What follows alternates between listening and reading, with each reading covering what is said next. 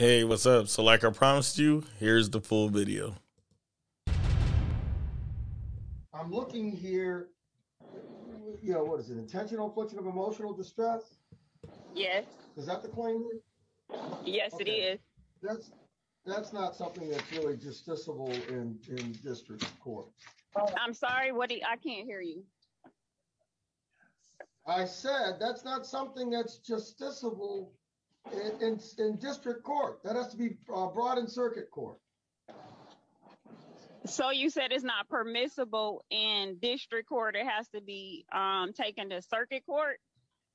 That's an equitable action, yes. Mhm. Mr. Jordan, let me just ask you this. Are you planning to uh, represent yourself on this?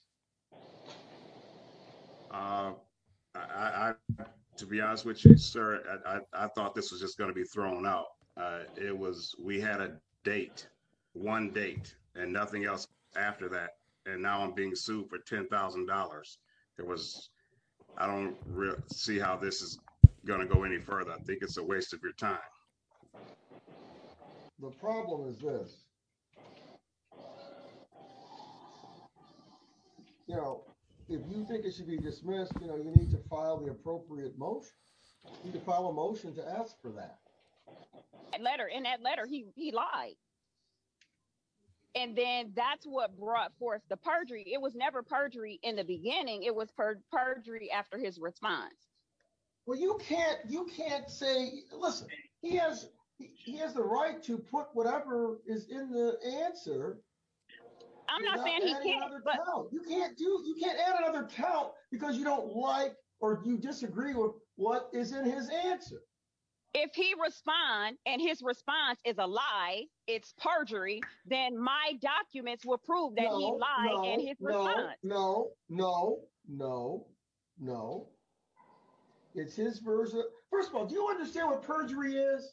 Yes, I understand understand perjury is a is. lie. No, I you know what perjury means. Perjury is a statement, a, a false statement made under oath.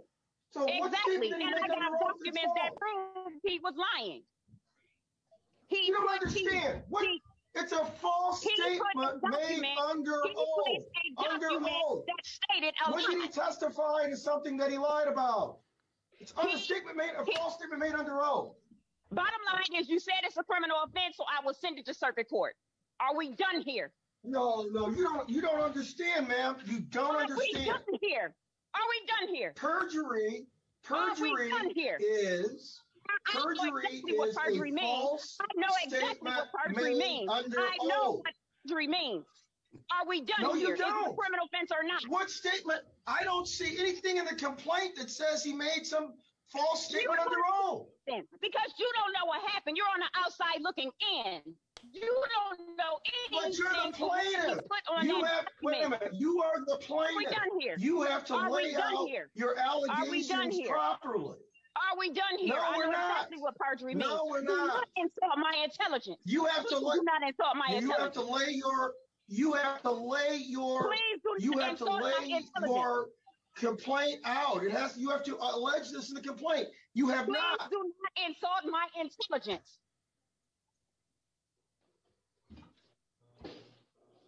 It's not about that.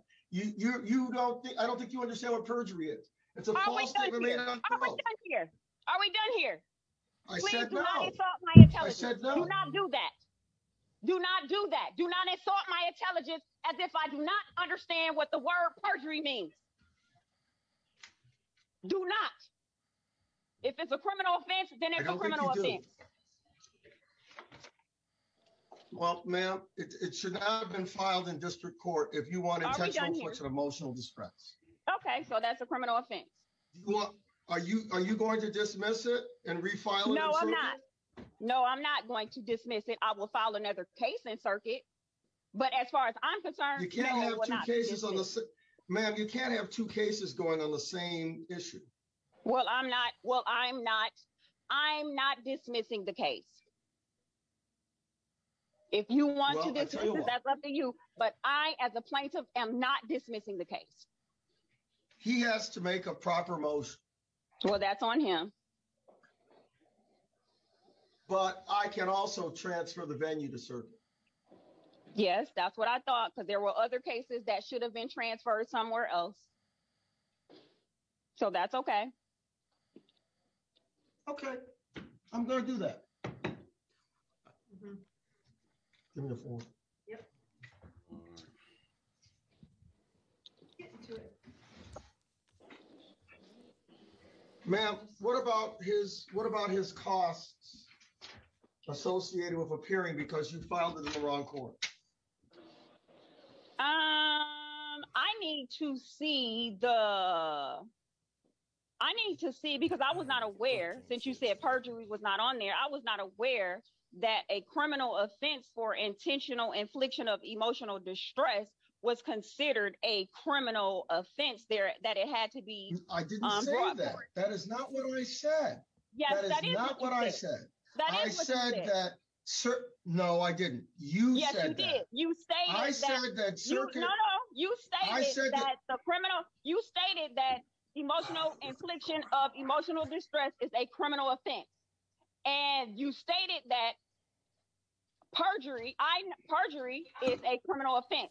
But you also stated that criminal, that perjury is not on the document that I placed forth before you. So criminal offense would not it's not in the complaint. on there. It's not in So the it- complaint. I need you to no, I need you to show me, I need you to show me the document which states that intentional infliction of emotional distress is indeed and in fact a criminal offense because that's the original offense that was placed on there. I never you said stated- that. I Yes, never you said did. that. What I, yes, you did. I never said yes, that. Yes, you did. No, I did not. Ma'am, Yes, you did. listen, listen, listen. I'm not going to sit here and go back and forth with you. I I'm will repeat to you what I said. I'm not either. I so, said so that's two that charges. intentional- So the charges have to, You need to be far as I'm quiet while I'm concerned, the two talking. You need to to be be quiet. Mute, can you because mute her, please? because Mute perjury is a Can criminal offense. It has, has to go to circuit her, court. That will not make her hear you. Intentional Well, infliction she's of emotional muted. distress. What I said was, what I said was intentional infliction of emotional distress is something that circuit court has jurisdiction over. I never characterize that as a criminal matter. It is definitely a civil claim, but it is something that can't be done in district court. Now, that's that's what I said to you. You are of the mistaken belief that circuit court does not hear civil matters because you said, well, I thought circuit court only did criminal. You are the one who are mistaken about uh, the jurisdiction of circuit court because that's what you stated on the record. Unmuted. She's been talking the entire time. Well, I said I was muted. Judge, excuse me, you don't understand how this works. Let me explain something to you about Zoom right quick. Okay. When I muted her and now I'm asking her to unmute, if she doesn't do something on her end, she's still muted. So right now, she's still muted.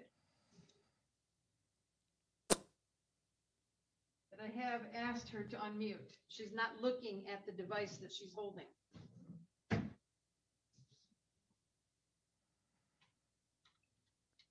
I am, I am ordering that this go to Seventh Circuit Court.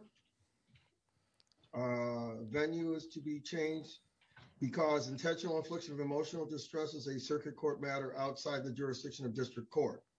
Plaintiff shall pay the filing fees in the receiving, uh, court. And I don't know if you asked for a jury trial or not. You did not, it looks like, so. There was no jury fee.